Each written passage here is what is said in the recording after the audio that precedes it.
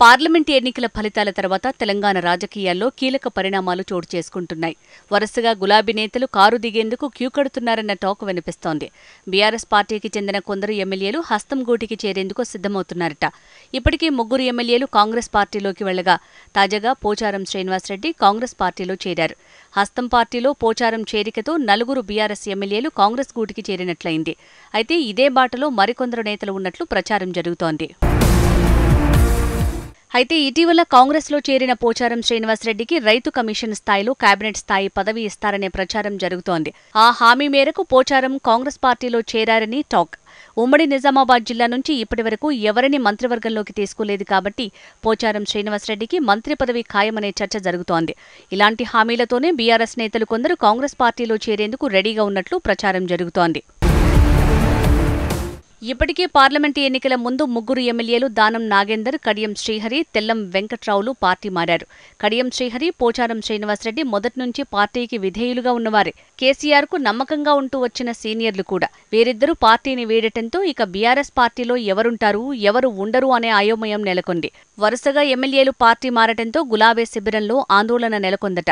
దీనికి తోడు త్వరలోనే బీఆర్ఎస్ పార్టీ నుంచి కాంగ్రెస్ పార్టీలోకి ఇరవై మంది ఎమ్మెల్యేలు వస్తారని ఎమ్మెల్యే దానం నాగేందర్ బహిరంగంగా చేసిన కామెంట్స్ మరింత గుబులు పుట్టిస్తోందట. దీంతో ఎప్పుడు ఏ ఎమ్మెల్యే పార్టీ మారుతారో తెలియని పరిస్థితి ఏర్పడిందని జోరుగా టాక్ నడుస్తోంది.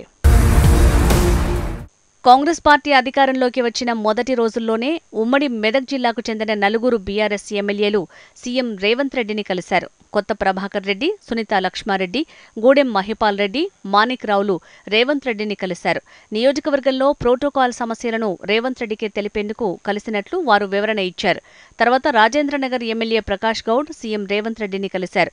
చేవెళ్ళ ఎమ్మెల్యే కాలే యాదయ్య సైతం సీఎం రేవంత్ రెడ్డిని కలిశారు. రాజేంద్రనగర్ ఎమ్మెల్యే ప్రకాష్ గౌడ్ రెండుసార్లు సీఎంను కలవటంతో పార్టీ మారతారని భావించినా సైలెంట్ అయ్యారు. కానీ త్వరలోనే చేవెళ్ళ రాజేంద్రనగర్ ఎమ్మెల్యేలు కాంగ్రెస్ పార్టీలో చేరుతారనే టాక్ వినిపిస్తోంది. ఇక గ్రేటర్ పరిధిలో ఉన్న ఎమ్మెల్యేలు సుధీర్ రెడ్డి కాలేరు వెంకటేష్ బండారి లక్ష్మారెడ్డి ముఠా గోపాల్ పార్టీ మారతారని చర్చ నడుస్తోంది. బీఆర్ఎస్ అధికారంలో ఉన్న సమయంలో కాంగ్రెస్ ఎల్పీని బీఆర్ఎస్ పార్టీ ఎల్పీలో విలీనం చేసుకున్నారు. ఇప్పుడు బీఆర్ఎస్ పార్టీని దెబ్బకొట్టేందుకు కాంగ్రెస్ పార్టీ అదే వ్యూహాన్ని అనుసరించబోతోందట. బీఆర్ఎస్ ఎల్పీని విలీనం చేసుకోవాలంటే దాదాపు ఇరవై ఆరు మంది ఎమ్మెల్యేలను పార్టీలో చేర్చుకోవాలి. దీంతో బీఆర్ఎస్ పార్టీలో ఉన్న సీనియర్ ఎమ్మెల్యేలను ముందుగా పార్టీలో చేర్చుకునే విధంగా కాంగ్రెస్ ప్లాన్ చేసింది. దీంతో బీఆర్ఎస్ అధిష్టానం అలర్ట్ అయింది. స్వయంగా కేసీఆర్ ఎమ్మెల్యేలతో మాట్లాడి పార్టీ మారొద్దని వారిస్తున్నారు. మరోవైపు పార్టీ మారుతారని భావిస్తున్న ఎమ్మెల్యేలతో కేటీఆర్ హరీష్ రావు చర్చలు జరుపుతున్నారు.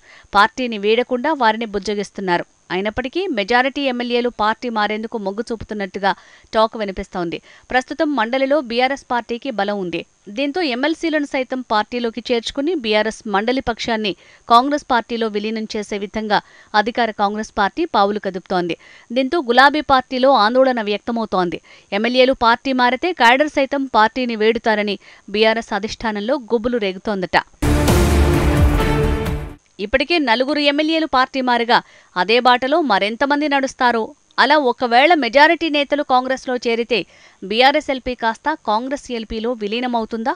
చూడాలి.